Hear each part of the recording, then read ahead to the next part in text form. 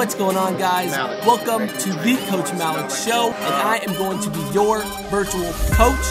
I'm going to give you the knowledge, the tips, and the advice to help you perform better in all aspects of your life.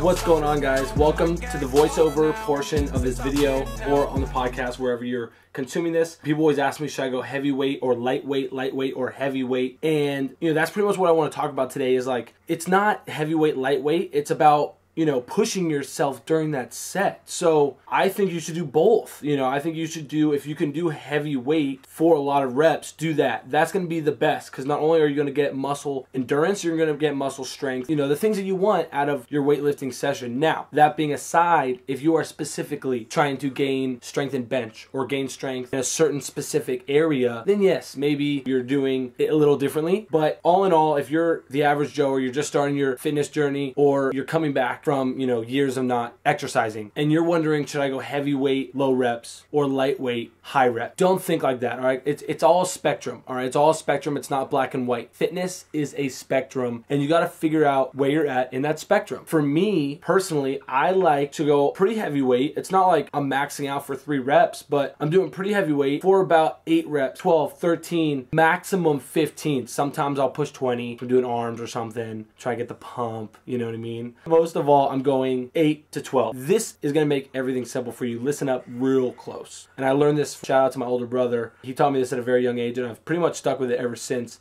when I'm doing this type of program. Again, it's all comes down to what your goal is. My mission is to get lean with a good amount of muscle. I don't want to just get lean and lose all my muscle. He always used to say this if you can hit 12, it's too light. You could probably go up weight, maybe 5 pounds, 10 pounds, if you can hit 12, especially if you hit 13, 14 plus. Now, when you increase the weight, let's say you increase it too much. If you could hit only six and you can't hit eight, it's too heavy. All right, it's too heavy. You want to hit a weight where you're hitting eight, 9, 10, 11, 12. The difficulty's high, your pain threshold's going. It's really hard to get those last couple reps. That's the weight you should be aiming for. I know I'm not speaking in high scientific terms and hit this percentage of your one rep max and all this stuff because it's not all black and white, all right? It's not all black and white. Figure out what works for you. Go heavy, right? Push yourself. Let's say you usually grab 10 pound weights. You're doing lateral raises. Let's just go something simple. Lateral raises with the dumbbells, 10 pounds. And you're not really feeling anything. You're kind of looking around as you're doing your reps. If you're looking around while you're doing your reps, you can go up. All right? Just that's Coach Malek tip number one. If you're looking around the gym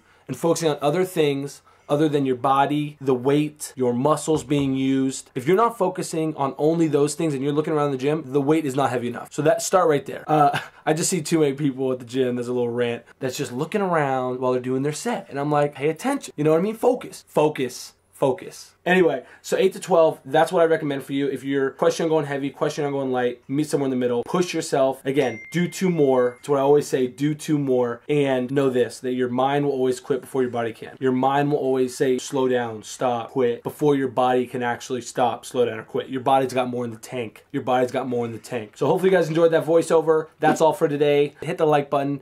Don't forget to subscribe, and I'll see you guys next voiceover clip.